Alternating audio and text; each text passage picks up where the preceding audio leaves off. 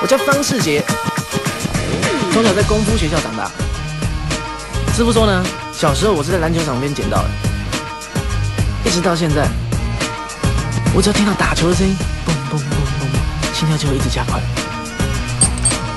不是心脏病哦，是我在球场总是可以看到他。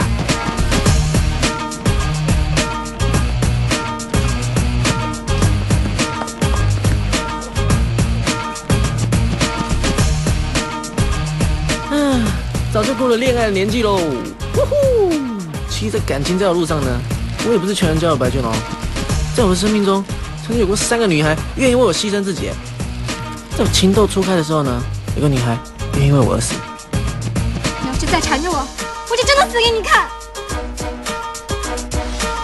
在我正值青春期的时候呢，有个女孩愿意等我到下辈子。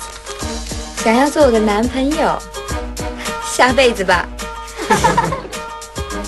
在我穷困潦倒的时候呢，有一个女孩愿意跟我共赴黄泉。要是你再不把钱还给我，我就跟你同归于尽。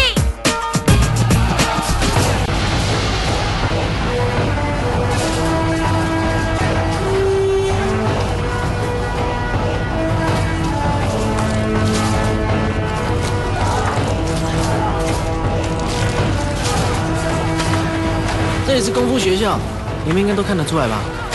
我长大的地方就是这里了。严格说起来，自从我师父走火入魔死掉以后呢，我就变得更好胜。